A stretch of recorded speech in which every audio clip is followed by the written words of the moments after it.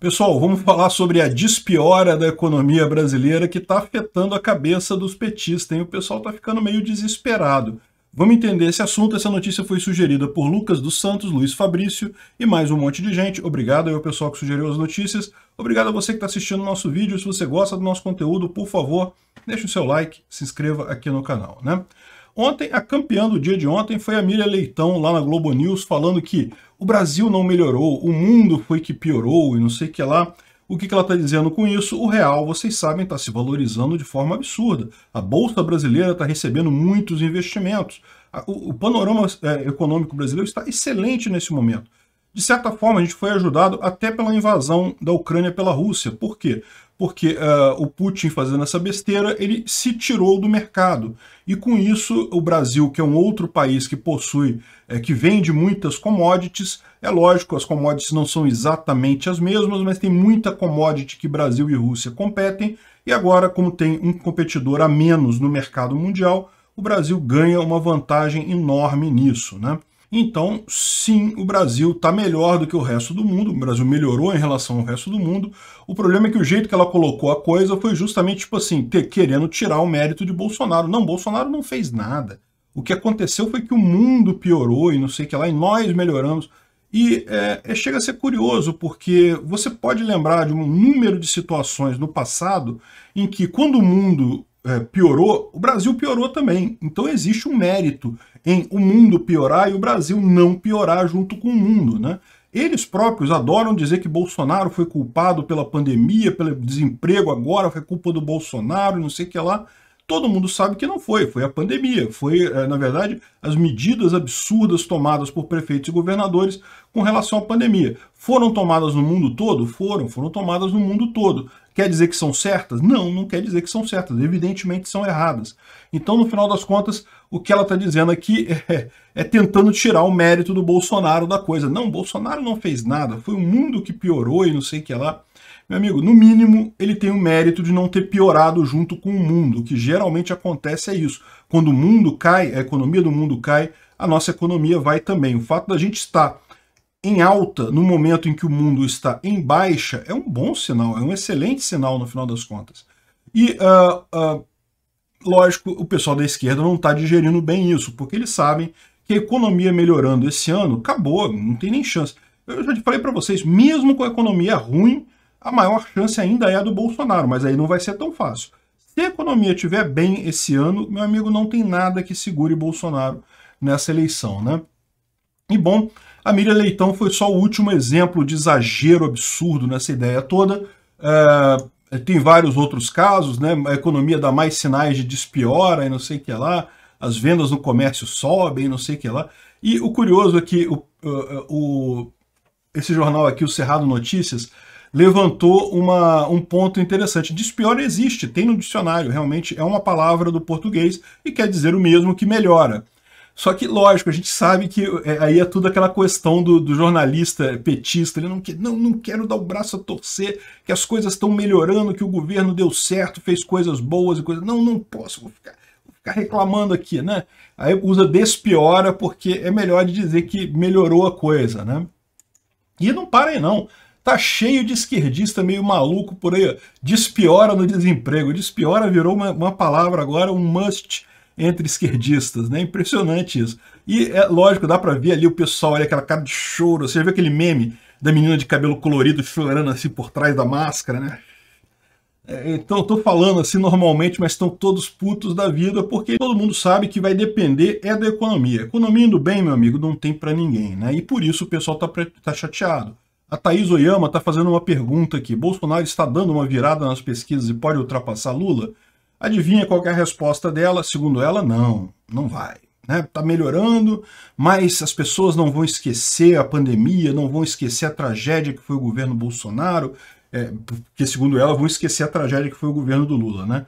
Mas, enfim, é, segundo ela, não vai virar não, porque vai depender do Sudeste, não sei o que lá e coisa e tal, mas a gente já percebeu que esse pessoal está preocupado com isso. O fato dela ter feito a pergunta é porque eles já estão vendo essa possibilidade, que é uma possibilidade que eles simplesmente ogerizam, né? não é que eles não gostem, eles simplesmente não aceitam. Mas que, infelizmente para eles e felizmente para o Brasil, tem tudo para se concretizar, que é a vitória do Bolsonaro. Né? E saiu ontem mais uma pesquisa em que a diferença é, despencou para seis pontos percentuais a vantagem de Lula para Bolsonaro. Né? De novo, eu falo sempre esse alerta aqui, não acreditem em pesquisa, isso ainda vai é, manipular muita coisa até as eleições, não acho que isso seja significativo, mas mostra que o pessoal dos institutos de pesquisa já não estão conseguindo esconder tanta coisa assim, né?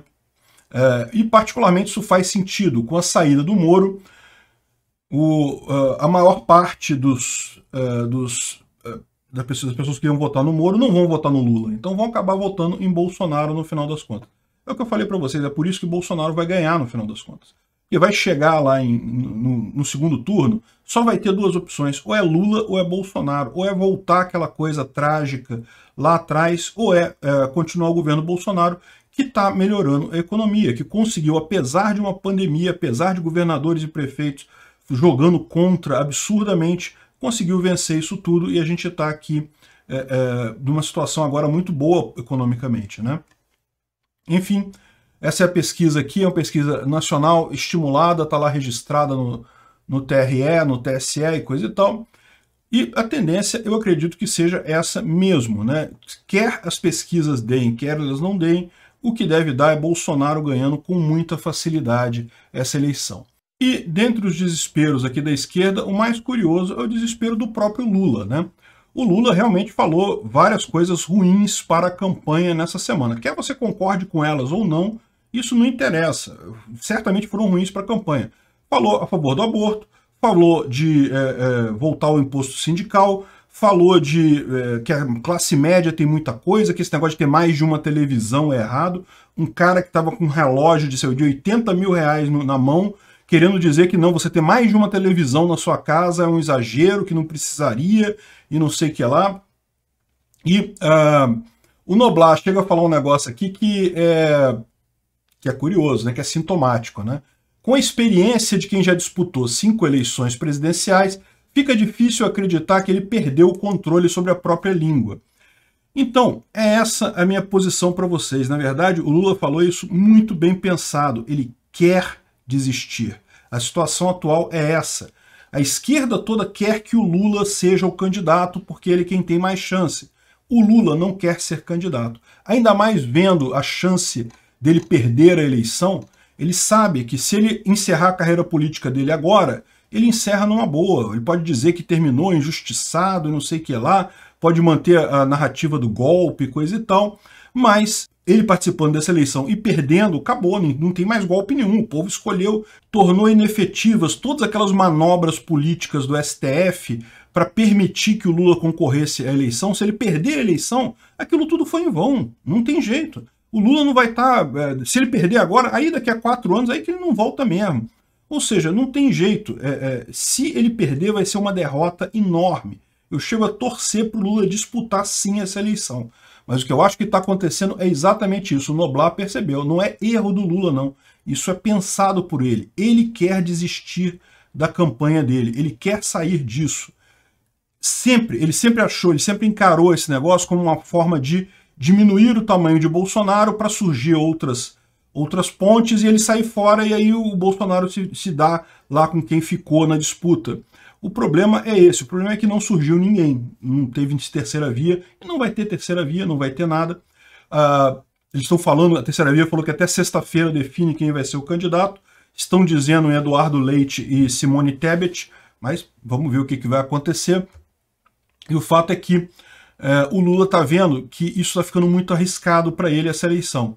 E como todo bom covarde, ele já está dando indicações de que quer pular fora deste barco, fazendo esse monte de, de patacada aí, botando esse monte de informações é, erradas, dando indicação de que não quer ser candidato mesmo. Vamos ver o que vai acontecer. Obrigado por assistir o vídeo até o final.